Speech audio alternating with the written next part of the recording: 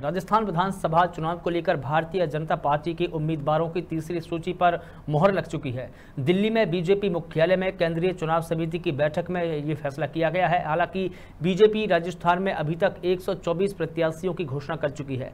बैठक में बाकी बची हुई छिहत्तर सीटों को लेकर मंथन हुआ है। तीसरी सूची में 50 से 55 प्रत्याशियों की घोषणा हो सकती है। जिन सीटों पर ज़्यादा विवाद की आशंका है जिन पर सीटों पर कांग्रेस से शामिल हुए नेताओं को टिकट देना तय हुआ है उन सीटों को होल्ड पर रखा सक, रखा जा सकता है।